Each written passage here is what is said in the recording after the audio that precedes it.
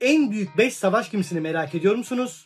Listemizin 5. sırasında bir Fransız var. 1940 yılında hizmete giren Richelieu savaş gemisi 248 metre boyunda ve 48.180 ton ağırlığa sahipti. 4. sırada Kraliyet Donanması'nın gururu HMS Vanguard.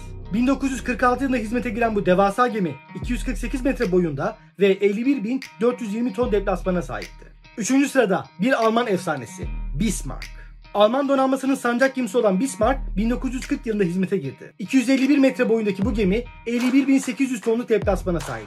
İkinci sırada Amerikan Iowa sınıfı. 1943 yılında hizmete giren Iowa 270 metre boyunda ve 57.540 tonluk deplasmana sahipti.